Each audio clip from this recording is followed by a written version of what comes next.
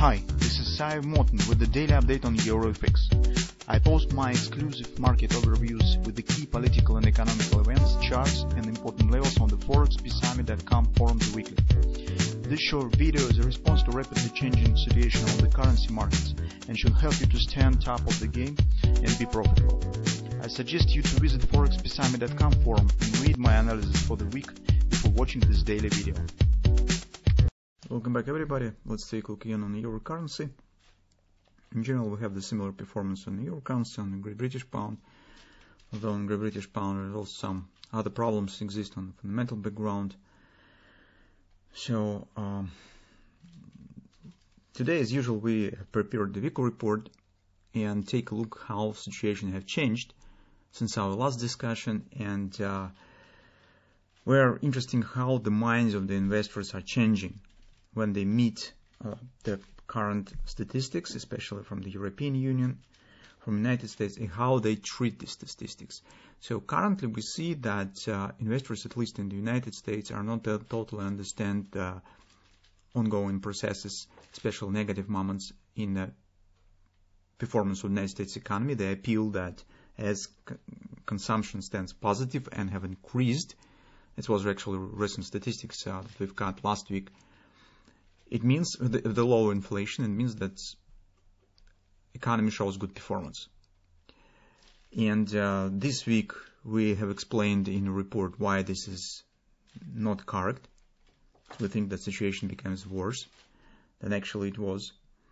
And also we're trying to shed some light on perspective uh, fundamental, fundamentally on what could happen with United States dollar in the nearest couple of months. Shortly speaking, we see the big dangers of the drying uh, of uh, cash flows from the Europe and Japan in particular to the United States. Because as you know these actual countries European Union uh, Japan and partially Great Britain is becoming two-thirds of the free flows capitals to United States. And currently this flow is mostly dry by two reasons. First of all the source of the capital is the positive current account, the result of the trading balance.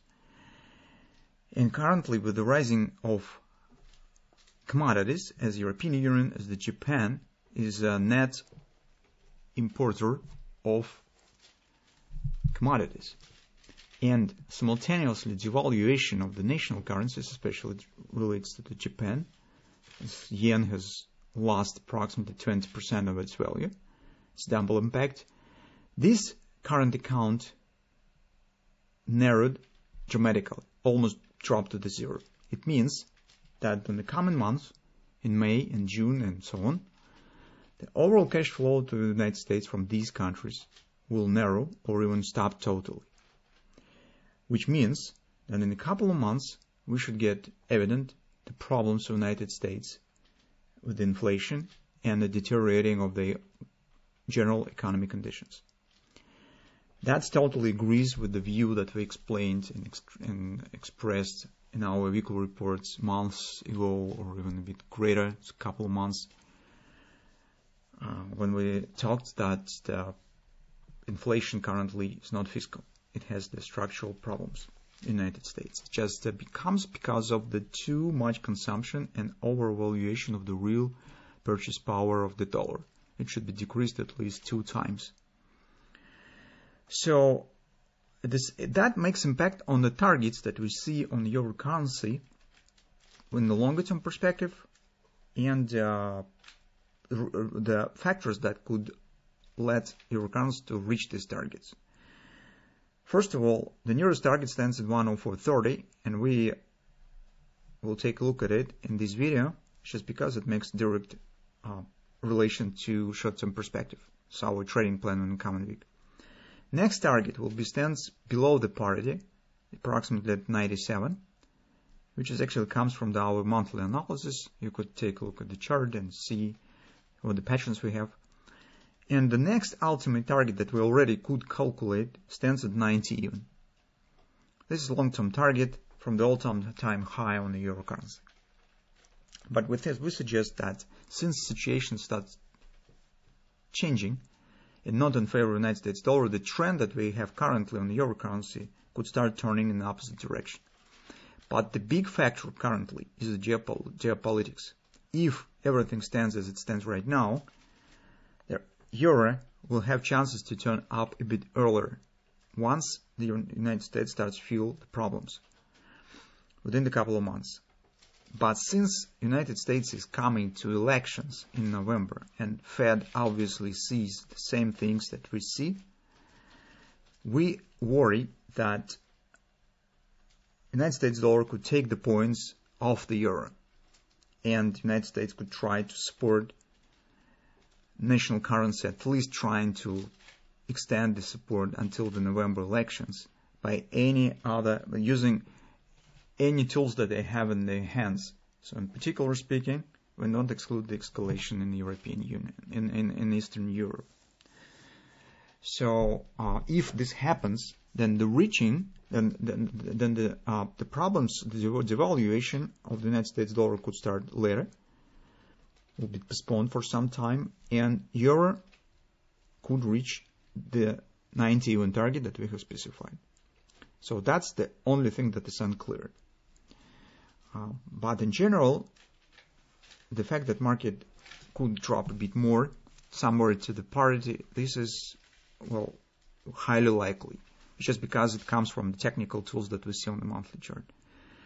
So that's approximately what we expect in uh, longer term. In the shorter term, as we're coming to payrolls report, as we're coming to Fed meeting, some other important information, we could get the volatility. Currently, market is overextended. As on the weekly chart, as on the daily, this is the major conclusion that we could get from these timeframes. So market stands oversold in both timeframes. Also, we do know that right at 104.30, which is uh, well 100 pips lower than market stands right now, we have another the major monthly OP target. So taking it all together, we suggest that on the Fed meeting, we could get significant volatility where this target probably should be reached. Market should be completed. At the same time, we do not expect the direct straightforward downward action just because market stands oversold. More problem from the technical point of view is that here we could get the pullback, some technical response on the monthly target with a moderate retracement, at least in the beginning. Later we will see whether what patterns will start to forming, starts to form.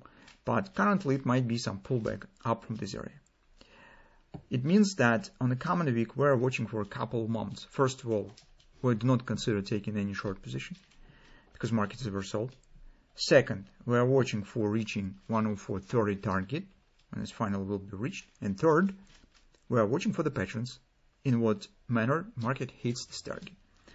So uh, this last question brings us to a couple of possible patterns. First of all, on the fall time frame chart, it seems that it might be double repo.